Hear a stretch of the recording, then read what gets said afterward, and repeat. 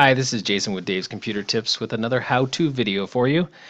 This one's on how to add services to Facebook business page. So you set yourself up with a Facebook business page and you want to show people what services you offer. This is going to show you how you can add services to your business page. So the first thing you want to do is go to Facebook and you're going to log into your personal account. They don't have a separate business login, so you're going to go through your personal Facebook account.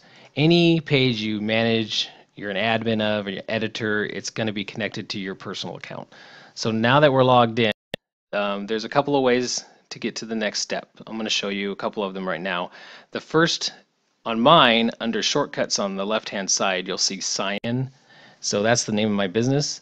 I would click that if I want to go that way. Another way to go is go to the top right and you'll see next to the question mark uh, arrow. You're going to click on that, and that will bring up the drop-down menu. And you're going to say Your Pages, and mine's right at the top. If you don't see it on this list, you're going to hit See More, and that will take you to the page screen, and you'll see all the pages you manage. And you can click it from there. If you want to just use the search, which is the bonus here, you can just type in your business name, and then there it is right at the top. So this is kind of a, it gives you three different ways you can go. Each each way is just as fast as the other, so just pick the one you like. So click on the name of your business. And now we're on our business page. Um, now you want to look to the left side and you're going to look on the side menu and go to services. Click on that. And now we're on the service page and you're going to see at the very top add a service. So we're going to click that button. Once on the service window, this is where you can add your service. So let me show you how you can do this. Um, first thing you want to do is click on service name, and my service name is going to be gamer. And then I'm going to charge $100.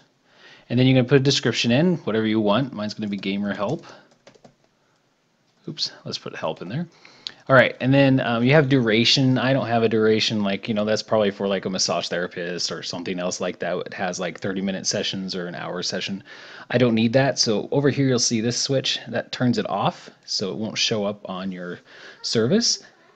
And if you, this is also where you can actually not you know when you you're still working on it you want to save it for now you can turn it off so it doesn't show up on your page. This is the on and off switch for that. It says show service so you just turn it off you don't want to show it yet. So and also in the end we have add an image. I said that in our my article about adding an image. I'm going to show you how you do it here. So you want to click the on switch. And if my on switch want to work today there we go. And then you're going to go hit add photos and then you can add it from your Facebook page or you can um, select it from your computer files. I'm going to select it from my computer files. You can even drag and drop files in here, but I'm going to go actually this way.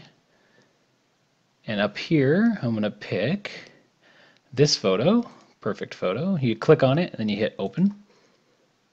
And then you can hit use photo. If you like it, you hit use photo. And now the photo is on my service. So check over your stuff before you hit save. Everything looks good to me, so I'm going to hit save. And now I have added my service to my Facebook business page. And if you, like I was saying, you can turn it off so it doesn't show, but it's still there. At least you can edit it later. You can go over here, same thing. Hit this and it turns it off. So now it won't show on my page to anybody except me. So I'm going to turn it back on. And that's how you add a service to your Facebook business page. Make sure to go to davescomputertips.com. That's where all of our articles are. Also, make sure you subscribe to this channel and tell all your friends about it. And thanks for watching.